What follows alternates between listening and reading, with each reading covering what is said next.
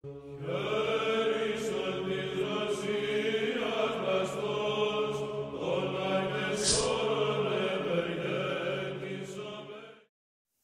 ime Oca i Sina i Svetoga Duha, amin.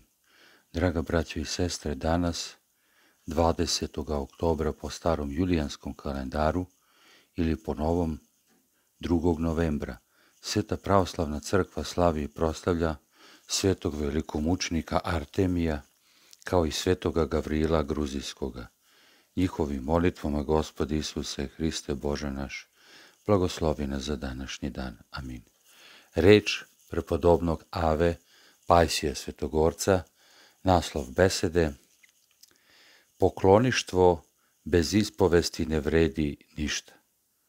Neki ljudi pravdaju se da ne idu da se ispovedaju zato što ne mogu da nađu dobrog duhovnika. To su sve izgovori. Svaki duhovnik čim stavi na sebe epitrahilj ima božansku vlast. On vrši svetu tajnu, ima božansku blagodat i kad čita nad pokajnikom razrešnu molitvu. Bog spira sa pokajnika sve grehe koje je ispovedio sa iskrenim pokajanjem. Kakvu ćemo duhovnu korist da dobijemo od svete tajne ispovesti zavisi od samih nas, koliko smo na ispovesti iskreni. Jedno mi je u Keliju došao čovek koji je imao neke psihičke probleme. Umislio je da imam dar prozorljivosti i da mogu da mu pomognem. Pitao me je, šta o meni vidiš? Rekao sam mu, nađi duhovnika, ispovedi se pred njim i više nećeš piti tablete za smirenje kojima se truješ. On mi odgovorio ovako, u naše vreme nema dobrih duhovnika. Ranijih je bilo, a sada ih više nema. Eto tako ljudi kod mene dolaze iz dobre namere da prime duhovnu pouku, ali uopšte ne slušaju šta im govorim. No šta da se radi? Uzalud troše novac za dolazak na svetu goru.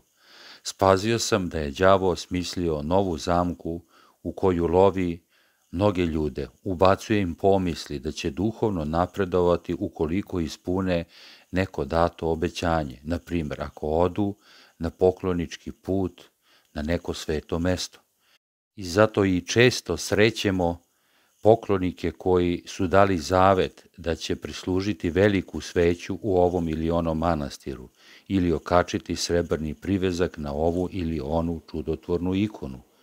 Idu po svetim mestima, kače tamo srebrne priveske, krste se teatralno, utiru suze koje im naviru na oči, uzburkavajući svoju krv da to proizvedu, zadovoljni time što to rade, ali oni se u suštini ne kaju, ne ispovedaju iskreno i dubinski, ne menjaju, ne ispravljaju svoj život i đavo se tome svakako raduje. Neka bi gospod Bog dao da ne činimo kao ti koji putem suete uobrazilje svoje sobstvene i neke zamisli traže Boga na ovaj način pogrešan, već da kao kršteni ljudi znamo da nam je majka crkva i da u toj crkvi tražimo svoje spasenje. Najpre da očistimo svoju dušu, kako bi đavo izgubio vlast nad nama, a onda da se upristojimo i da živimo po Bogu, jer to pravoslavlje i znači, živeti po Bogu, po zapovestima Božim. A onda će u takvom stanju svakako i sveto pričešće biti lek naše namučene duše, koja je nekad tražila sreću gde sreće nema, u praznini ovoga prolaznog života. A Bogu našem slava i hvala, vavijek. Amin.